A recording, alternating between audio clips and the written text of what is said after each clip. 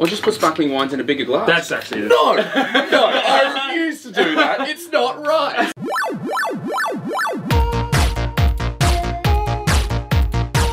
So, another week, another shit wine invention. We have, do you remember uh, a couple of weeks ago we were showcasing the wine stein? I do. Yes, right. And we're obviously this is a bit of a thing, particularly in Australia where there is sort of like this sort of big beer mentality. Um, and we all love beer. We all love beer in different situations. What's your favourite way to have a beer? literally 20 metres down the road at the Exeter, fresh off the pine. Bottom of the keg. Uh, three quarter time in a showdown when caught up by eight girls. Mmm, ball sports. Uh, I'm gonna say one of my favourite uh, places and times to have a beer is in the shower. Oh, big I time. think Good stuff, good stuff. yeah, yeah. See where this is going. Already big fan. Already big fan. Yeah, wouldn't it be great if we could have a shower wine? Uh, yeah. Problems with shower wines, of course, we have glassware, but this innovative company has come up with a fix for this. Remember, I knew, I knew exactly where this was going.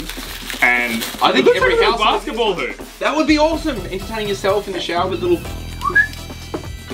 smaller glasses needed, potentially. No, no, no, but this like it's still center, so it still works. Okay. Like, I want to see a champagne flute in this, because that would be That would work.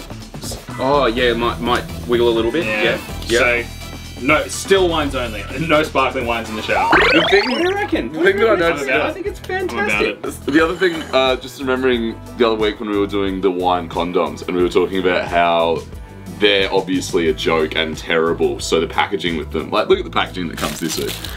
It's not. Sell- it doesn't need the sizzle. It's got the steak. This is a good invention.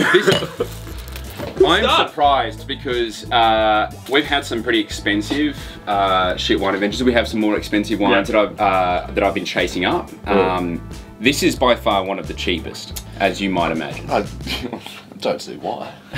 Thirteen dollars. Oh, I reckon even lower. I reckon could be one of those ones where it's free, just pay shipping.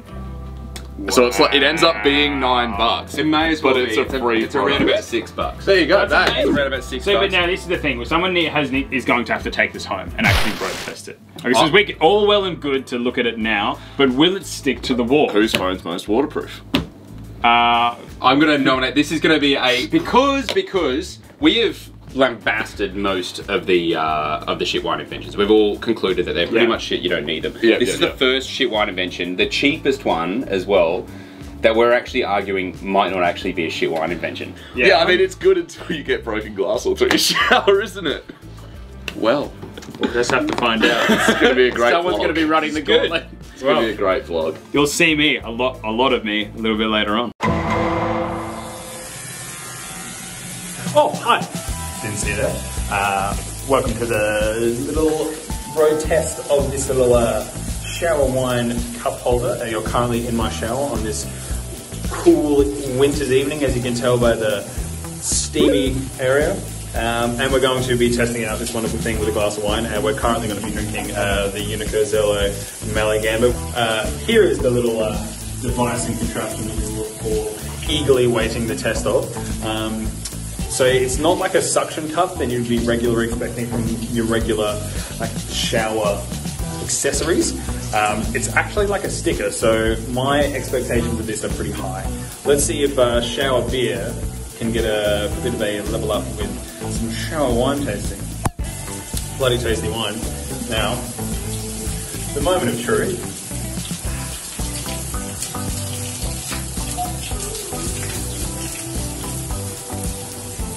It bloody works. Uh, I cannot remember the price of this, but I highly recommend this. As this is clearly working, and uh, stop drinking beers in the shower, start drinking wine. And I can tell you that um, this little lovely little sultry Malagamba number is working very well in this little steamy condition.